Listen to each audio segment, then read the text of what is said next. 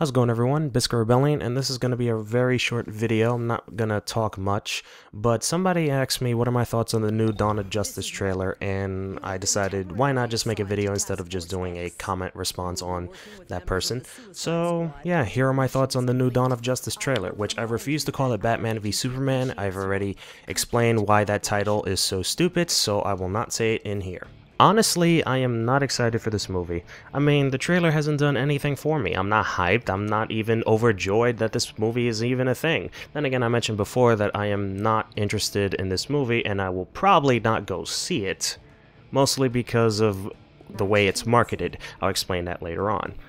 But the trailer itself is fairly enjoyable, however, it's not much.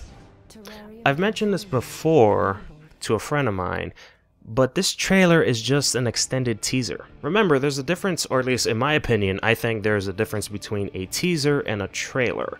A teaser is more like a snippet. They're giving you small little pieces of an idea of what this movie is about, while the trailer itself is showing you what this movie is about. If you get what I mean. It's kind of like if I wanted to show you a teaser of a comic, I would show you one picture and that's pretty much it. That is a teaser. While a trailer, or more like, I don't know how the way how they say say it in comics, but bear with me here. For a teaser, I would only show you one picture of maybe a panel, not even a page, just a panel. While a trailer would probably showcase a couple of pages to give you an idea of what this comic book issue is about. If you get what I mean, the same goes with movies and they have done that a lot over the years, but it's funny because when you search up for this teaser, all you see is Batman v Superman official teaser. Or no, not official teaser, official trailer, or official teaser trailer. It's not a trailer, it's just an extended teaser. And the reason why I call it an extended teaser is because there's not much shown here. Bear with me here. All they showed in here is oh, there is controversy over the idea of Superman. Some people think of him as a godly figure, while others think of him as the devil. And that's probably mostly because of what he has done to Metropolis, let's be honest. That shit looked like a fucking barren wasteland. I'm sorry, but you have to just look at the ending of Man of Steel and you'll know what the hell I'm talking about. But anyway, after that, I think they shown a statue being built of Superman while somebody did a graffiti on his chest saying false god. Oh, people think of him as a god. Like, that hasn't been done before. But honestly, I don't like the idea that he is shown as a god. I never did. Nor did I like all the God, Jesus symbolism that happened in Man of Steel. But I guess they're going to continue with that. So at least there's some consistency there. I don't mind that. It's just I don't like the idea. So whatever. Then we then we are shown a pissed off Batman, who I believe is pissed off directly at Superman for whatever reason. They have yet to show that. We also saw some snippets of the Batmobile, and I also think it's the Batplane. I'm not entirely sure about that. There was a scene where they showed both the vehicles, the Batplane and the Batmobile, attacking a group of, I don't know, group of people, I guess and that's pretty much it. And then we shown we are shown Ben Affleck within the bat suit, like we've seen Batman fully. But honestly, I really don't care. It's whatever to me. And then at the end, we see Batman and Superman confront each other, and that's pretty much it. Also, Ben Affleck, or Batman specifically, throws in a line saying, "Do you bleed?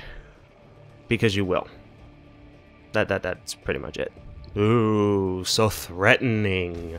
I'm pretty sure that's not the exact lines that he's he mentioned, but that's genuine generally what he's trying to say. Do you bleed, Superman? Because you will. Ooh, what are you gonna do? Throw green kryptonite like you always do? Holy shit. Fight's over. uh, whatever. I am sorry if I sound like a fanboy, but honestly, I don't like this whole Batman can beat Superman whenever he wants. No, he can't. No, he can't. You and I, everyone knows this. Because let's be honest, without the without that freaking kryptonite, he would get stomped. But uh, whatever, whatever. Logic aside, since Bat Logic wins every single argument, like I said before in the beginning of this video, I am not interested in this trailer. They barely showed anything, and I don't see the hype. I truly do not see the hype. I mean, if you look anywhere around the internet, Twitter, Tumblr, Facebook, well, then again, I don't use Facebook, but it, for, for those of you who do use Facebook, check in there. Go to any video that is trying to break down what is going on in this trailer. Everyone's hype. I don't, I honestly do not see the hype. And you know what's even more funny about this trailer? Who's the main bad guy here?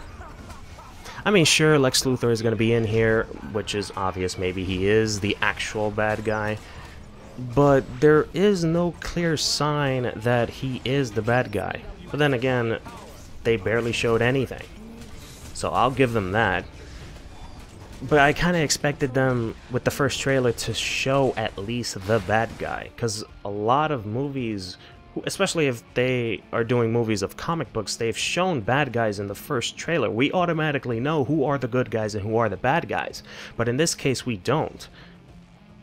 Going back to Man of Steel, in the first trailer, we don't know who the bad guy is if you watch that first trailer. In fact, if they, the funny thing about that trailer is if they didn't show Superman flying nor his symbol, we would not have known that this was a movie about Superman just by looking at it. And in this one, in Dawn of Justice, we have yet to know about the bad guy. On top of that, I believe it's been rumored, but I think this is legitimately true. Well, actually, yeah, it is legitimately true. That Wonder Woman was going to be in this movie, except maybe a cameo or something. I kind of expected, you know, to her show up at the end. Kind of like in that one Age of Ultron trailer where they showed Vision at the very end of that trailer. I kind of expected something like that, but we didn't get it. I'm not disappointed. Well, actually, yes, I am a bit disappointed, but that doesn't change my overall thought about this trailer. It's nothing special, really. Guys, wait for the second one, because I can guarantee you that the second one is going to be far, far superior than the first one.